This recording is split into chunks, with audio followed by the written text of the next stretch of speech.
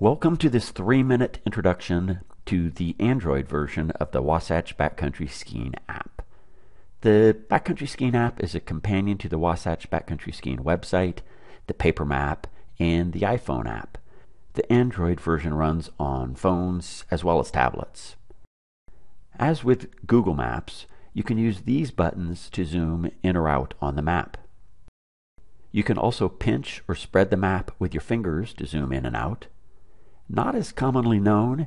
You can also double tap with one finger to zoom in and double tap with two fingers to zoom out.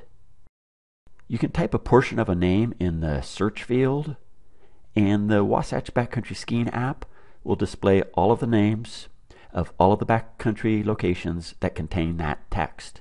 You can then select a location from the list, and the map will zoom to that location. If you choose a location with multiple names, such as Shane's Chute, which is also known as Suicide Chute, a message clarifying the name can appear. You can tap anywhere in this information window, and the navigation pane will be displayed with a blue arrow pointing toward that location. You can also press and hold directly on another named location or on any random location and then navigate to that location. It's extremely important to note that the navigation arrow points directly to the destination without regard to cliffs, cornices, rivers, or avalanche hazard. It's your responsibility to travel safely while in the backcountry. It's also important to note that your phone's GPS and compass aren't perfect.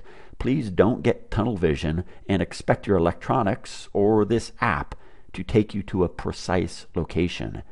It's also good to know that the app doesn't require cell service.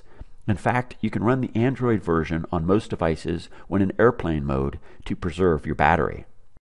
As with Google Maps, tapping the current location button, which is in the lower left corner, will display your current location in the center of the screen.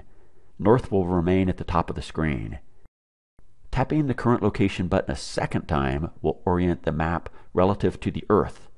This tiny pointer will point from your current location in the direction you're facing. As you rotate your phone or tablet, the map will remain oriented to the Earth.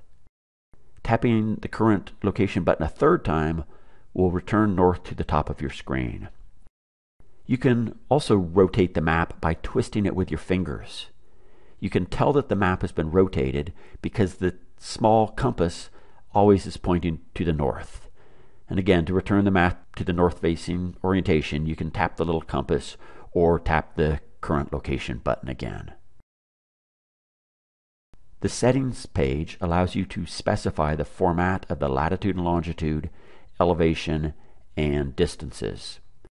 The Android version of the Wasatch Backcountry Skiing app is available exclusively from the Google Play Store. You can buy the paper map by visiting stevesmap.com. It's worth knowing that all of the profits from the sale of the paper map are donated to nonprofit organizations that promote avalanche safety or the preservation of the Wasatch Mountains. Whether you use one of the apps, the website, or the paper map, the Wasatch Backcountry Skiing Map has the information you need. Travel safely.